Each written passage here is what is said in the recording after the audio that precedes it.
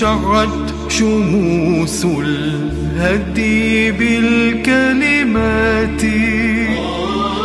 فأنارت الأفهام بالآيات. أسرج بنور العلم عقلا نيرا. وافتح من الألباب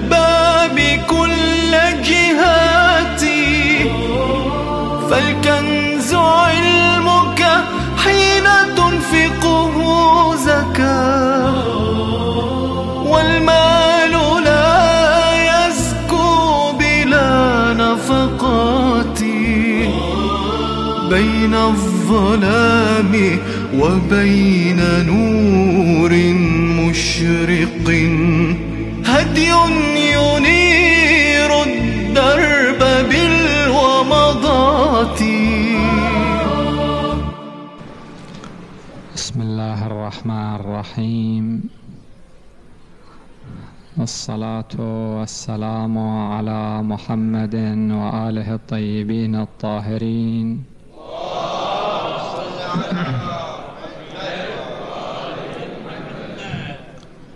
ولعنة الله على أعدائهم أجمعين إلى يوم الدين.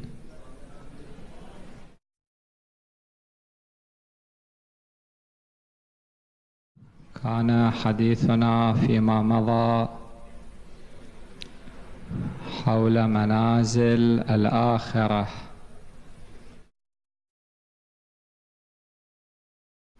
وذكرنا أن المنزل الأول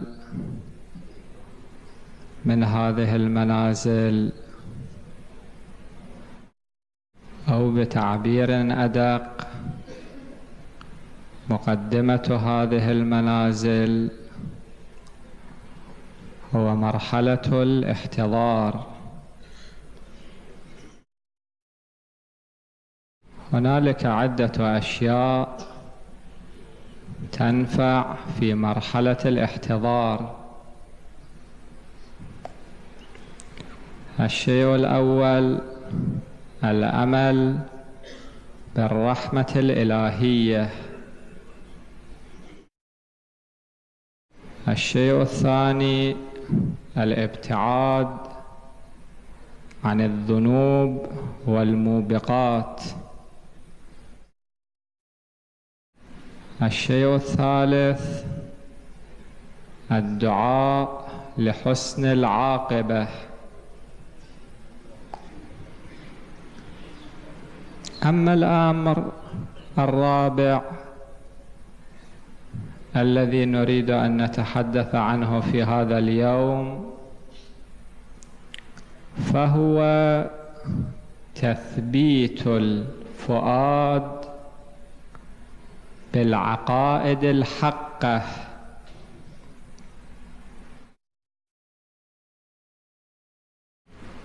مقدمه لهذا الموضوع نذكر هذه النقطة وهي أن المعارف البشرية على نوعين. النوع الأول المعارف المكتسبة. الإنسان عندما يولد لا يحمل هذه المعارف في فؤاده. لا وإنما على أثر التجربة أو التفكير والتأمل.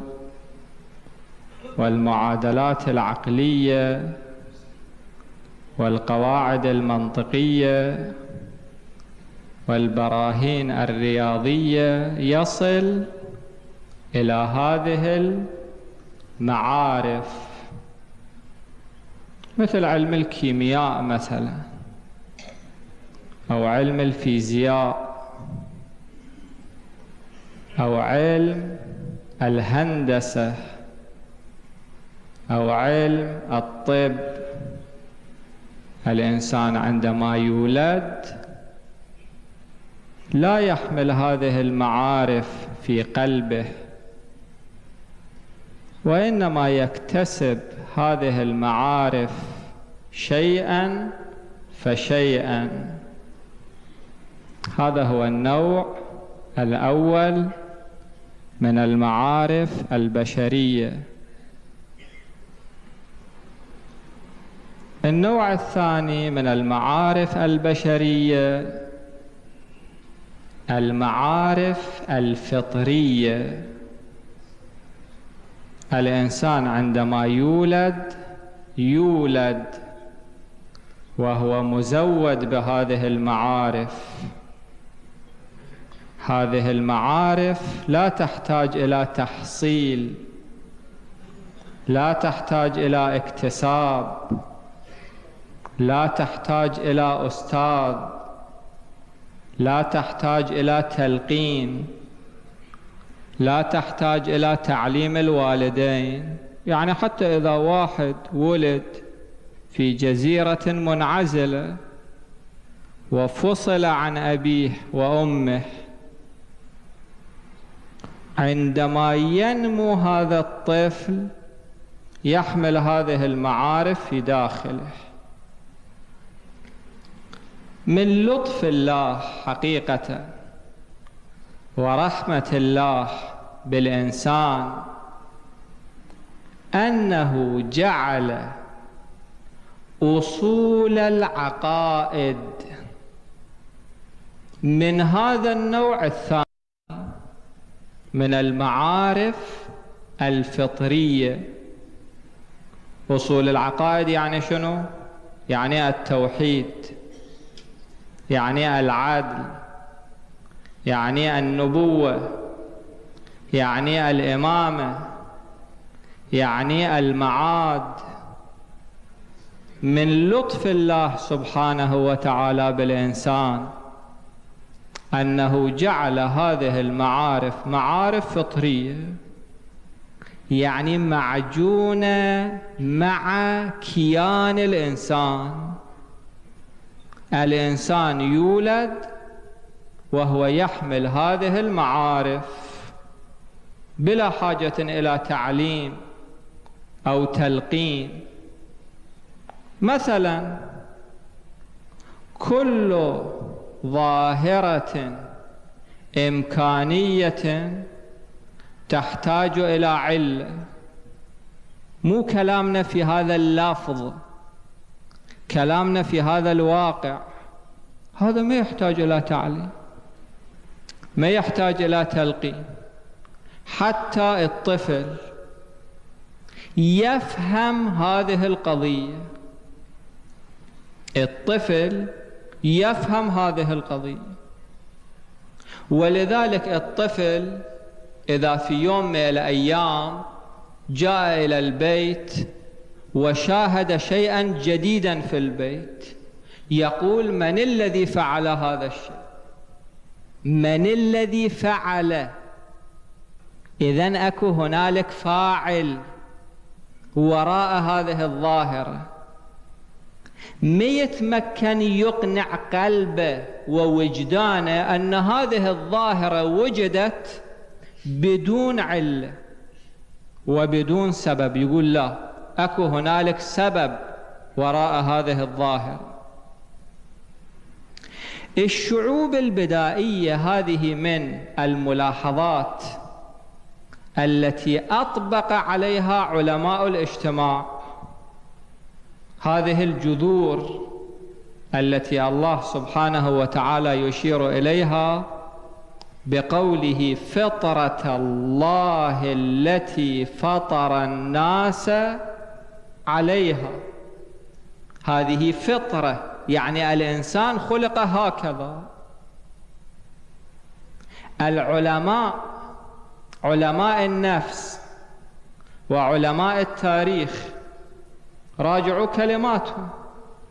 وعلماء المجتمع يطبقون على أنه ما من مجتمع من المجتمعات.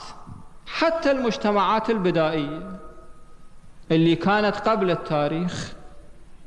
إحنا عندنا تاريخ مدون وعندنا ما قبل التاريخ. حتى هذه المجتمعات البدائية الموغلة في الجهل وفي التخلف الحفريات عمليات التنقيب أشارت إلى آثار تدل على أنهم كانوا يؤمنون بالله. حتى هذه الشعوب.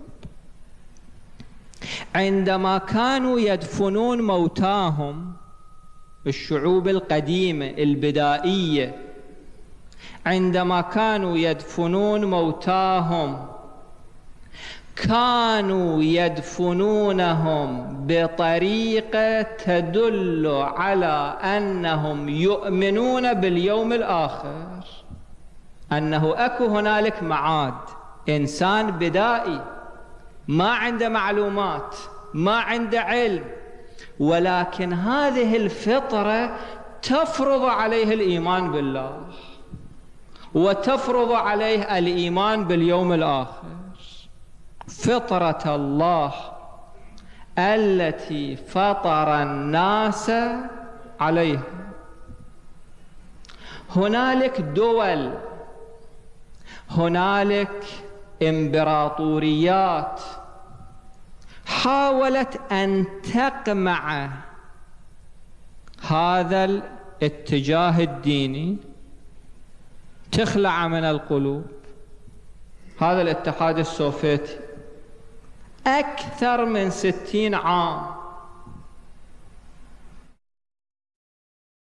عملوا كل طاقاتهم وإمكاناته بوسائل الترهيب بوسائل الترغيب بتلك التعذيبات الرهيبة حتى يقلعوا جذور الإيمان من القلوب. ولكن تمكنوا بعد ستين عام أكثر وإذا بالإيمان يعود موجود. بمجرد ما ارتفع الضغط ظهرت هذه الفطرة.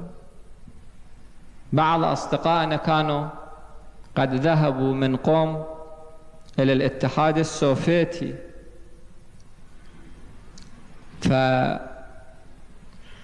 فمجموعة من الأهالي كانوا قد طلبوا من هؤلاء التربة. قالوا إذا أجيتوا في المرة القادمة جيبوا لنا تربة. لأن هذه العلاقة بالدين العلاقة بالإمام الحسين صلوات الله وسلامه عليه أبقتهم. مع كل هذا الجو الذي كان طوال هذه السنوات الطويلة. إذا في الواقع هذه الأصول وهذه الجذور هذه جذور عقائدية فطرية. الإنسان في مقابل التشكيك يجب أن يرجع إلى فطرته. الإنسان إذا رجع إلى فطرته يجي واحد يقول لكم لا يوجد هنالك إله. الإله خرافة. ما يحتاج إلى برهان. ما يحتاج إلى دليل. ما يحتاج إلى دليل الدور والتسلسل وبرهان الصديقين. لا هي الفطرة. واحد يرجع على فطرته. ممكن أن يكون هذا الكون بلا خالق معقول؟ هذا البناء بناء متواضع. لا يمكن أن يكون بلا باني هل يمكن أن يكون هذا الكون بلا خالق؟ هو هذا المنطق البسيط. بعيدا عن الاستدلالات العلمية. كافي لتثبيت الإيمان في الفؤاد. العدل الله سبحانه وتعالى عادل.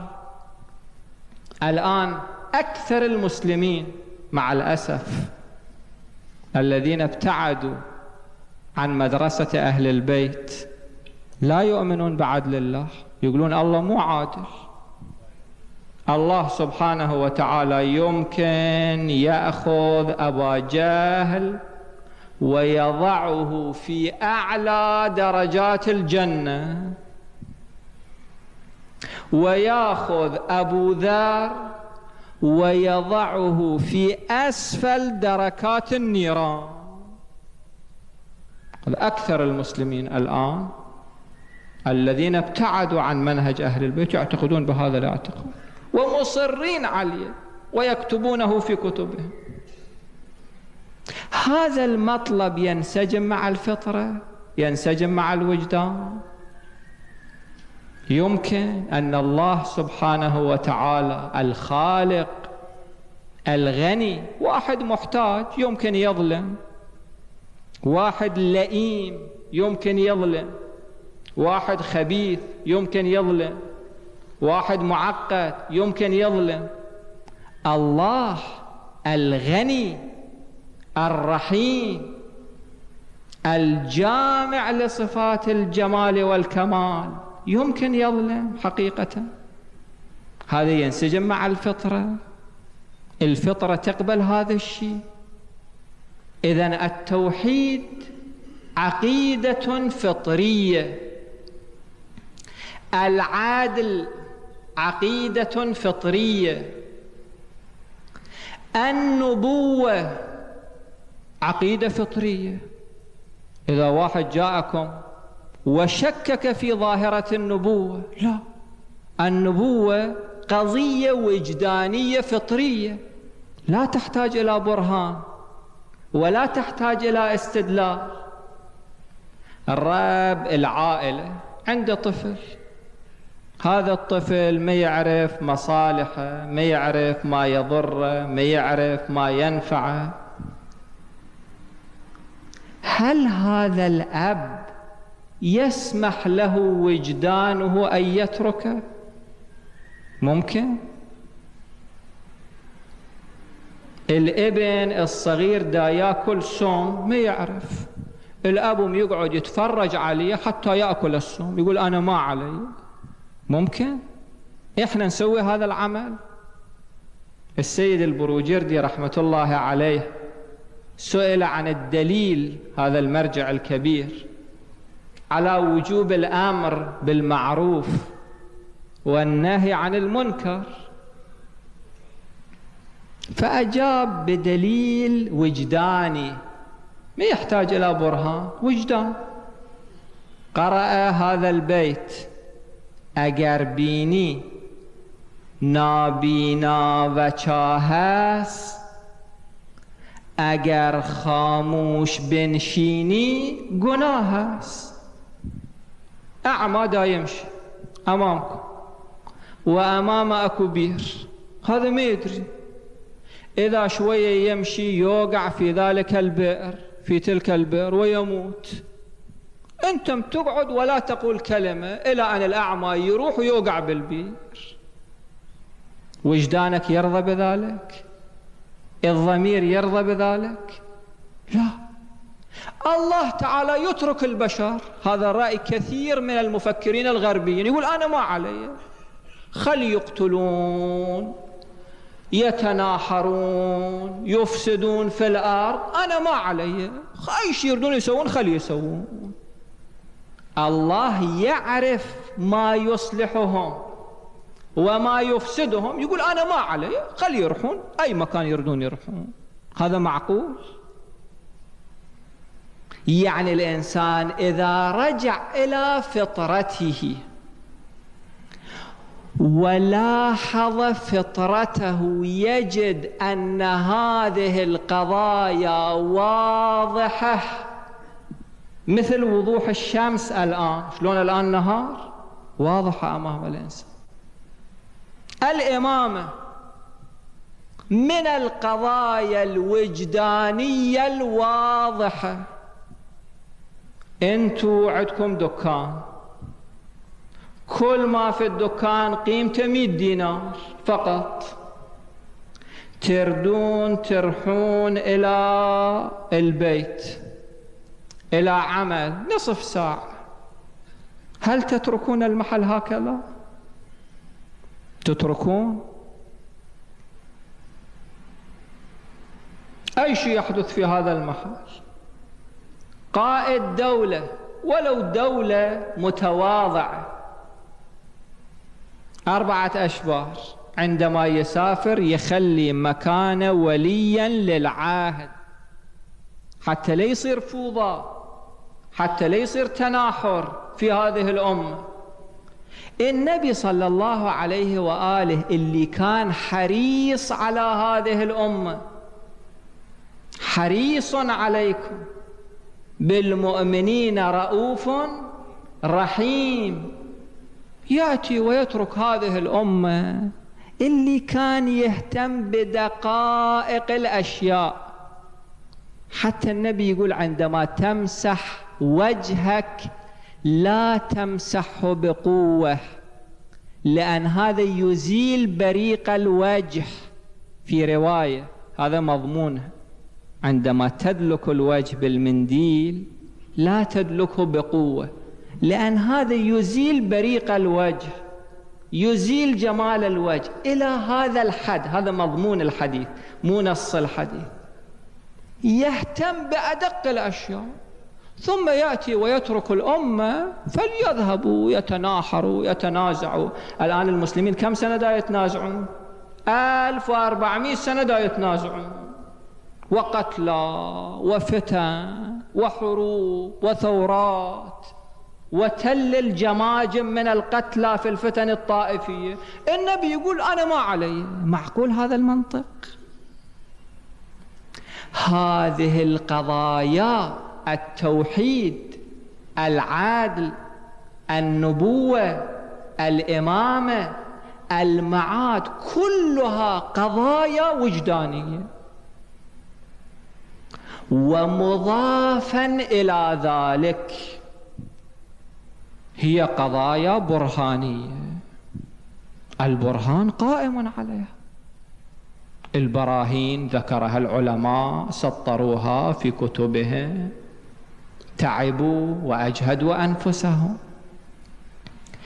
الإنسان بهذين الطريقين طريق الوجدان الرجوع إلى الوجدان الرجوع إلى الفطرة الأصلية وعن طريق البرهان.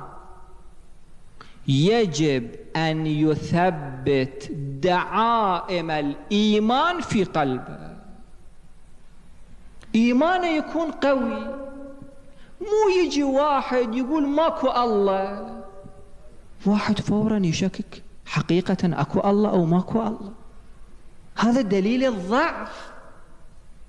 هذا دليل أن الإنسان قلبه غير مطمئن. الله تعالى يقول وقلبه مطمئن بالإيمان. في عمار. عمار أخذوه عذبوه قتلوا أباه. قتلوا أمه. فقال لهم باللفظ ما يريدون. جاء جماعة إلى النبي صلى الله عليه وآله وقالوا له أن عمار قد كفر.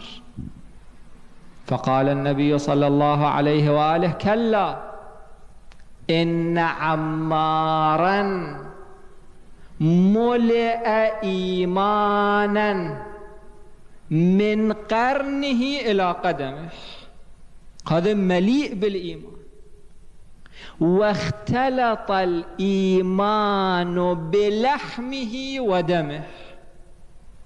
هشك الرجل. كان مع رسول الله صلى الله عليه وآله. وكان مع أمير المؤمنين. شيخ عمره أربعة وتسعين سنة. ولكن هذا الإيمان راسخ في فؤاده. في حرب صفين. قال والله ما يتأثر بالظروف ما يتأثر بالأحداث الأشياء الخارجية. لا مؤمن وإيمانه قوي. والله لو هزمونا إلى سعفات هجر لعلمنا أننا على الحق وأنهم على الباطل. هذا الإيمان. الإنسان يجب عليه أن يثبت هذا الإيمان في قلبه. نقل لأحد الإخوة أنه في مجمع مضمون القضية. واحد نقل أنه كان في حرم الإمام الرضا صلوات الله عليه على ما أتذكر. فشاهد معجزة من الإمام الرضا بعينه. هو شاف. إحنا كثير سامعين معاجز. ولكن هذا الرجل شاهد هذه المعجزة بعينه.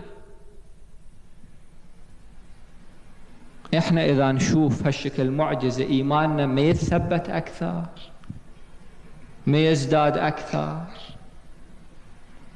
قال أحد الحاضرين إذا أنا كنت أشوف هذه المعجزة بعيني لزاد إيماني بالإمام الرضا أكثر. كان أحد العلماء قاعد التفتوا إلى هذه الكلمة قال أما أنا فلو كنت أرى هذه المعجزة بعيني لما زاد إيماني بالإمام الرضا صلوات الله عليه. لأن إيماني بالإمام الرضا إيمان كامل. هالشكل عندي. أنا أعتقد أن هؤلاء الله أعطاهم الكون بيدهم. شلون الله يطلع ملك الموت هذه السلطة؟ سلطة قبض الأرواح. الله أعطى للمعصومين الكون بأيديهم. هالشكل. يتصرفون حسب المصالح الواقعة. أنا إيماني كامل قلبي مطمئن. حتى إذا أشوف المعجزة بعيني ما ازددت يقينا لأن يقيني واصل إلى أعلى مراتبه هذا هو القلب المطمئن بالإيمان. القلب الذي لا تزلزله شبهة ولا يزلزله كلام. هذا الإيمان اللي ضروري واحد يثبته ينفع الإنسان في لحظاته الأخيرة.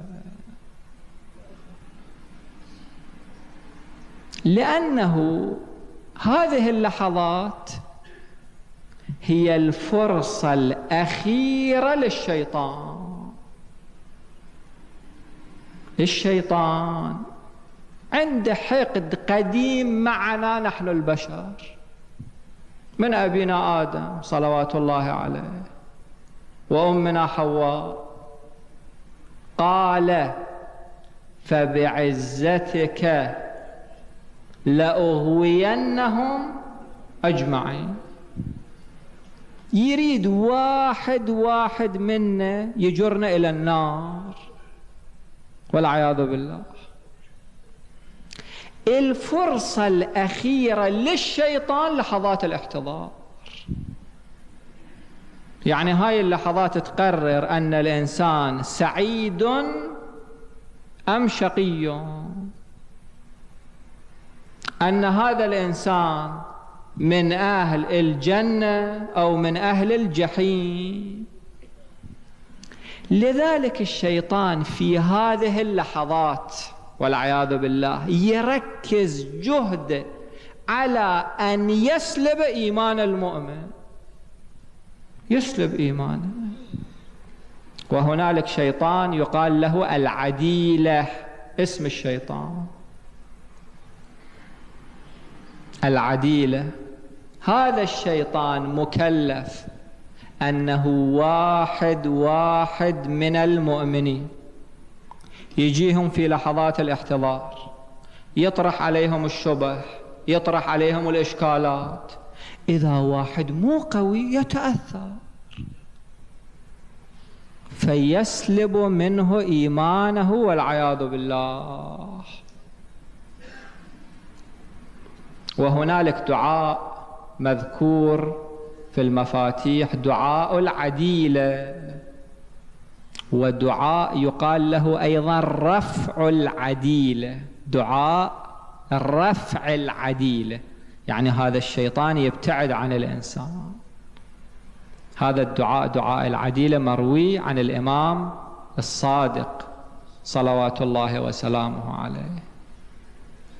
فالإنسان في تلك اللحظات إذا الآن ما يثبت إيمانه بالوجدان وبالبرهان في ذاك الوقت يكون على خطر. أما إذا الإنسان الآن ثبت إيمانه قوى إيمانه رسخ إيمانه الشيطان بعد لا سلطان له عليه. هذه من الأشياء المصيرية حقيقة. مو شيء عادي صار أو ما صار. المهم أن الإنسان يثبت إيمانه. حتى لا يسلب الشيطان إيمانه الآن أو في تلك اللحظات.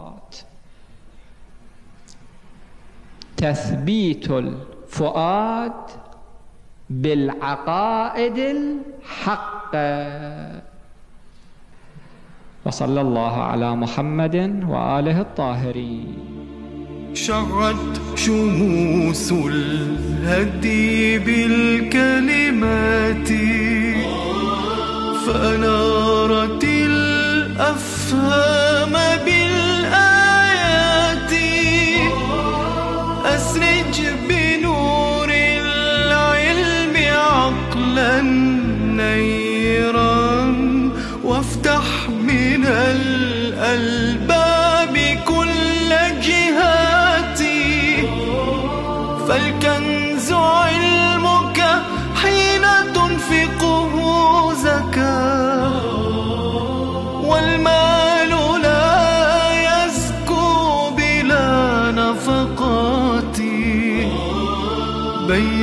الظلام وبين نور مشرق.